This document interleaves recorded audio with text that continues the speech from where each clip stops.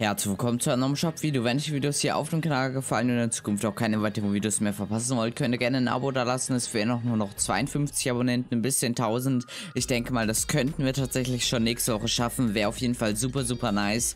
Ihr könnt natürlich auch gerne dieses Video bewerten, kommentieren und teilen, würde mich ebenso freuen. Und schaut auch auf dem Twitch-Kanal vorbei. Link dazu ist in der Videobeschreibung und lasst dort natürlich ein Follow da, um in Zukunft keine weiteren Streams mehr zu verpassen. Dort werden wir uns heute Abend wahrscheinlich auch das FNCS Invitational Event anschauen und davon an die Woche 2 natürlich.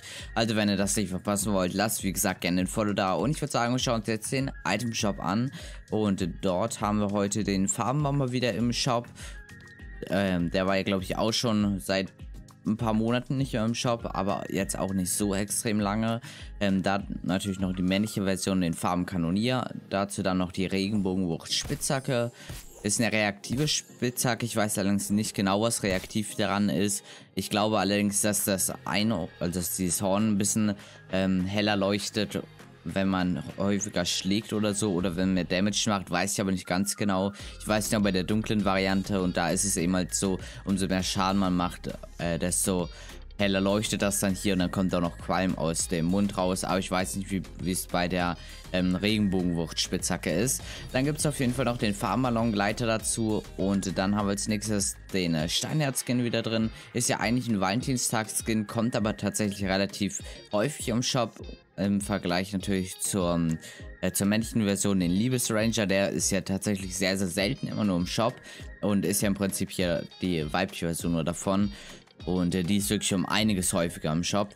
Dazu gibt es natürlich noch die Herzschmerz-Spitzhacke. Dann als nächstes haben wir noch den äh, Wolfkäppchen-Skin, auch richtig häufig, meistens im Shop. Ähm, hier einmal die Standard und dann die Variante ohne Kopfverdeckung.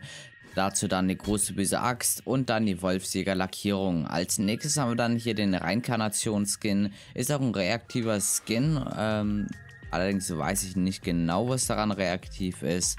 Ähm, steht hier aber auf jeden Fall. Aber ich habe, wie gesagt, gar keine Ahnung, was daran reaktiv ist. Dann haben wir als nächstes Glitzerwurmer, auch mal eine Lackierung für den Farbenbomber-Skin tatsächlich.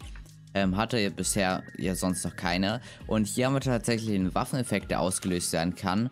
Und das sieht eigentlich schon ganz cool aus mit diesen, mit diesen Sternstücken, die dann runterfliegen. Und ansonsten ist er auch noch hier animiert. Also manche kommen so, kommen dann auch nochmal so ein paar, äh, ein paar, ähm, ein bisschen, ein bisschen Design auf die Lackierung auf jeden Fall rauf.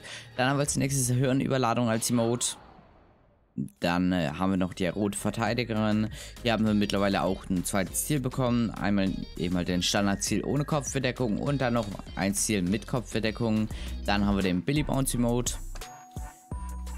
Und dann als letztes noch Rage Quit.